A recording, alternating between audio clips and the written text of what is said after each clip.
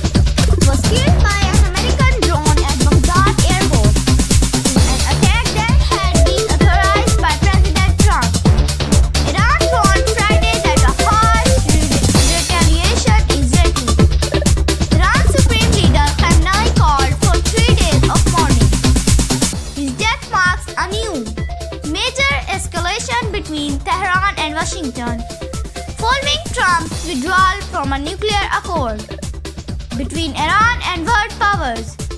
Pro-Iran protesters in Iraq want US troops to leave the country.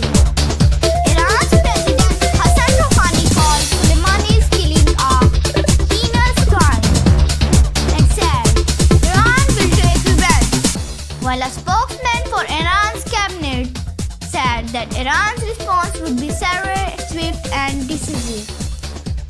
Pentagon and Isra- Israel's prime minister has defended the targeting of Soleimani as a defensive action.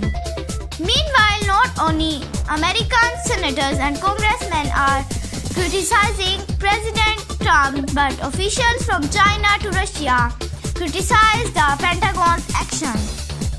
Subscribe my channel. Stay tuned. Take care.